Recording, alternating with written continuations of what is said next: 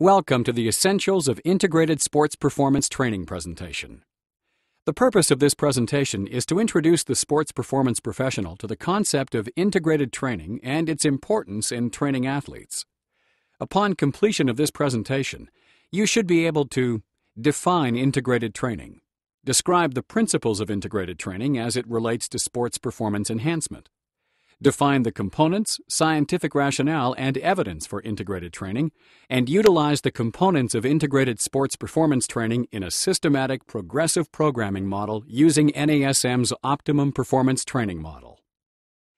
Today, more than ever, sports performance professionals need to follow a comprehensive, systematic, and integrated training approach to help athletes achieve their desired performance goals. To bridge the ever widening gap between science and practical application, a full understanding of the structure and function of the human movement system is needed to stay on the cutting edge of research, sports science, and practical application.